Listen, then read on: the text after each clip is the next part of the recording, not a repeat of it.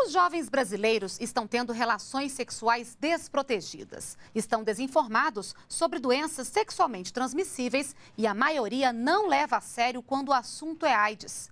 Os dados são de um estudo que teve a colaboração do Ministério da Saúde e ouviu mais de 1.200 jovens entre 18 e 29 anos.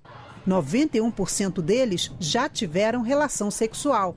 A pesquisa revelou ainda a idade média da primeira vez. 17 anos. Outro dado apontado na pesquisa é que muitos jovens sabem dos riscos da AIDS e, mesmo assim, não praticam sexo seguro. 40% dos entrevistados dispensam a camisinha quando o relacionamento é sério e quase 20% declararam que se sentiriam insultados com a proposta do parceiro de usar o preservativo. Um mito comum é de que o preservativo tira o prazer, né? Um outro mito comum é que falar sobre sexualidade vai antecipar o início da vida sexual do adolescente. Esses mitos, esses preconceitos precisam ser desconstruídos. Em relação à forma de transmissão, o que surpreendeu, segundo os pesquisadores, é que 24% dos jovens brasileiros ainda acreditam que o vírus da AIDS pode ser transmitido pela saliva e 20% consideram verdade ou têm dúvidas sobre a possibilidade de serem infectados ao usar copos ou talheres de outras pessoas.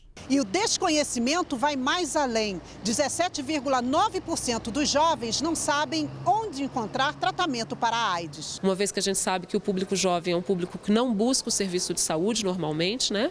Então a gente tem vários serviços disponíveis para os jovens nos serviços, a gente tem a disponibilização de insumos de prevenção, métodos anticoncepcionais, o próprio preservativo, que é gratuito e está disponível para o jovem no serviço de saúde, o teste de AIDS. E na mesma linha, apenas 9,4% foram a centros de saúde nos últimos 12 meses para saber informações sobre tratamento para a doença. Nós precisamos é, criar espaços de reflexão para que esse adolescente, esse jovem, de posse de informação segura, de um diálogo honesto e, honesto e franco, ele consiga se perceber e fazer uma autoavaliação da sua vulnerabilidade. Em que medida que eu estou vulnerável, em que medida que eu me expus a uma situação de risco.